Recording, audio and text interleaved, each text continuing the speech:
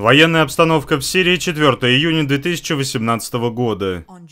3 июня на юго-востоке провинции Дер-эз-Зор сирийские правительственные силы отразили атаку ИГИЛ на свои позиции к востоку от города Хасрат.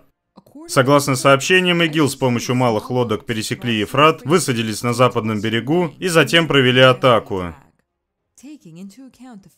С учетом того, что террористы пришли с того берега реки Ефрат, который контролирует поддерживаемые США СДС, сирийские демократические силы, некоторые источники, лояльные Дамаску, вновь обвинили коалицию во главе с США в поддержке деятельности ИГИЛ против лояльных правительству сил на востоке Сирии.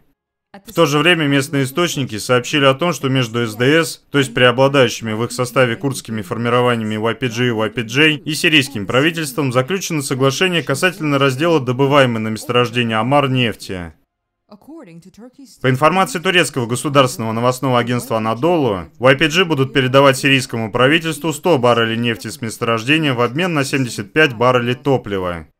Нефтяные месторождения Амар являются одними из крупнейших в Сирии.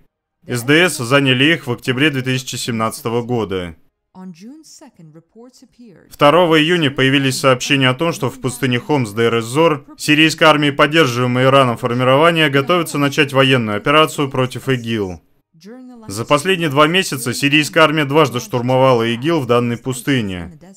Однако атаки были ограниченными, поскольку лояльные правительству формирования боролись с боевиками на других фронтах, в основном вокруг города Дамаск. Сейчас в распоряжении сирийских военных находится гораздо больше ресурсов для того, чтобы зачистить пустыню. Некоторые источники связали данные события с предполагаемым соглашением, заключенным между ключевыми игроками, влияющими на данный конфликт.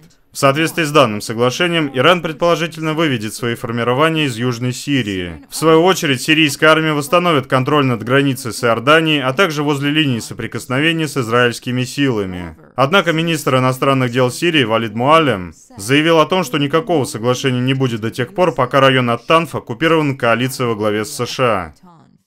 Таким образом, даже если вышеупомянутое соглашение проработано, то его реализация по-прежнему находится под большим вопросом.